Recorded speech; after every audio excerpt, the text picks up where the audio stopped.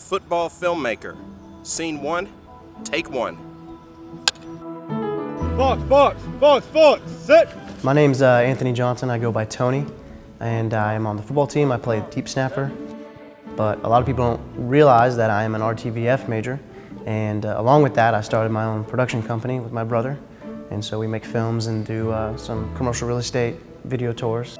We've been making films. I mean, we didn't realize it, but we were making films in third grade. We made, uh, you know, Star Wars Junior. It was a trilogy that we made with our buddies every birth, you know, during our birthdays. And so we didn't really realize until college that, hey, this is kind of something that we want to do for the rest of our lives. And it's the one thing that we do find like true joy in, and we can make a career out of it. So.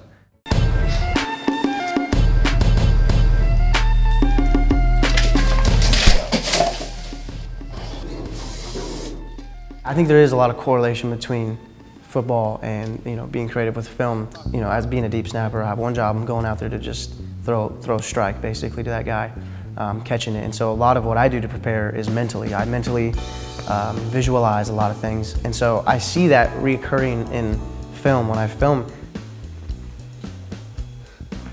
Look who's finally awake. What are you guys doing? This isn't funny. I help with the actors and just to make sure that they're saying their lines honestly and truthfully. It is nice to have somebody that you're uh, really close with, obviously, um, on a relational level, so that, you know, if you do want to work something out, uh, it is a lot easier to approach him uh, more than it is with any other buddy, or anybody else that I've ever worked with. Fraser and I think that we both have, I mean, I, and I know for a fact he does, have some really great original stories, really good stories that need to be told. I'll see you at school. Is that all you're going to say? What do you want me to say? People are scared to make or to produce an original film. I've been able to do some comedic short films for our football team. The players and the coaches love it. Um, I get to make fun of Coach Mack. Grabbed it, made it look like me, Dan McCarney, championship rings and everything. I think he's a better filmmaker, and let me, let me I mean, he's a great deep snapper.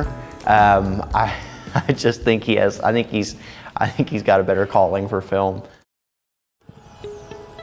Mean, football's given me so much.